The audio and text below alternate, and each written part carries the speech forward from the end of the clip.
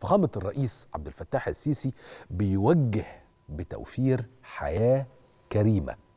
المرة دي مش لبلدة ولا القرية ولا العزبة ولا الكفر. المرة دي خاصة بالتحديد. أسرة الطفل المتوفي رحمة الله عليه. اللهم آمين. يسكنه فسيح جناته قادر يا كريم. حسين عبد الله. حسين الله يرحمه. يمكن حضراتكم سمعتوا لقى مصرعه على إيد واحد من المجرمين بهدف سرقته فنجع حمادي في قنا الريس قال توفير كل متطلبات الحياة الكريمة لأسرة حسين. إحنا معانا على التليفون عبد الرازق عبد الله شقيق آه ابننا طفل حسين رحمة الله عليه. عبد الرازق إزيك اولا؟ والبقية في حياتك وربنا يصبركم ثانيا. آه عبد الرازق انت عارف انه الرئيس وجه بتوفير كافة متطلبات آه المتطلبات ليكم كأسرة ومتطلبات حياة كريمة. آه مش. مظبوط؟ مشكور منه يا فندم مشكور منه الرئيس مشكور منه انه اختصنا بالذات مشكور منه.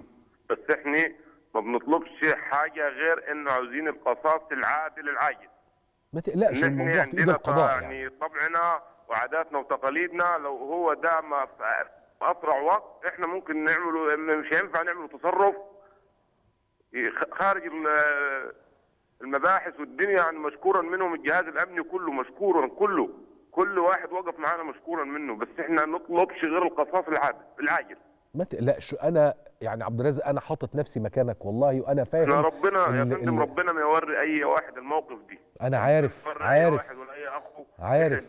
في الموقف دي. عارف إحنا أكيد. قلبنا محروق وإحنا حزانة ما مش عاوز مش هينفع إن أوصل لك بقد إيه إحنا الحزن اللي إحنا فيه. والله أنا عارف إنه مهما الواحد اتكلم ومهما استخدم في مصطلحات للمواساة حرقة قلب الأهل على ابنهم مفيش حد هيقدر يستوعبها غير اللي بيمر بيها وبعد الشر عن الجميع. أنا كمان واثق عبد الرازق في إنه وعايزك تبقى عندك ثقة حقيقية. في إنه اجهزه الأمن في مصر. والحكومة والدنيا كلها والقضاء في مصر هيجيب لكم حقكم. دنيته ومشاغله ودنيته إن هو بص لنا. أيوه شوف بقى. الريس بنفسه زي ما نقول كده إيه نقول بالبلدي كده مركز معاكم مش بس باصص لكم مركز معاكم واخد باله وعارف التفاصيل. ولازم كمان تبقى عارف منه زعيم العرب إن شاء الله زعيم العرب كله صحيح. ولازم تبقى واثق 100% أجهزة الأمن والقضاء القانون المصري مش هيسيب حق حسين.